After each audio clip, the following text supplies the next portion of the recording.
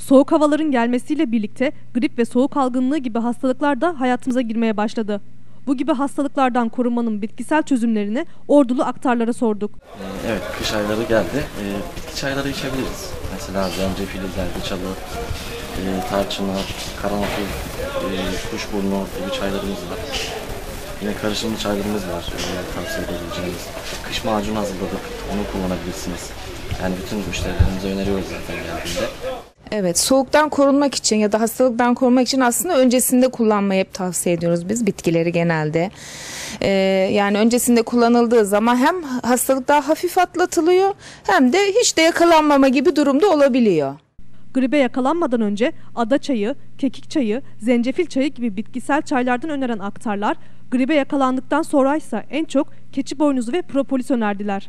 Kış aylarında soğuk algınlığı hasta ve gribal enfeksiyonlara yakalanmadan önce korunmak için öncelikle ada çayı, kekik çayı, zencefil çayı tüketmek önemli. Ee, e, soğuk algınlığına yakalandıktan sonra boğaz yollarında, solunum yollarında iltihap ve öksürük, bronşit tarzı bir rahatsızlık varsa öncelikle temizlemek için keçi boynuzu tüketmek lazım. Keçi boynuzu pekmezi öneriyoruz. Keçi boynuzu pekmezinin içine e, zencefil, zerdeçal, tarçın, e, birazcık da karabiber ilave ederek özellikle solunum yollarındaki bronşit tarzı, balgam tarzı iltihapları temizleyebilirsiniz.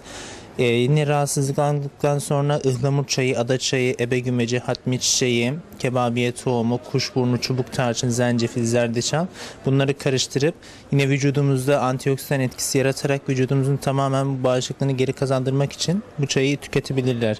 Ayrıca yine zencefil, zerdeçal karışımlı macunlarımız var. Ballı, özellikle kestane balı veya çam balı öneriyorum ben.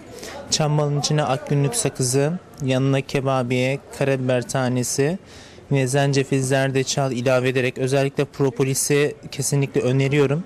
Propolis e, kış ayında kullanabileceğimiz en doğal, en böyle zararsız, yan etkisi olmayan bir doğal antibiyotiktir.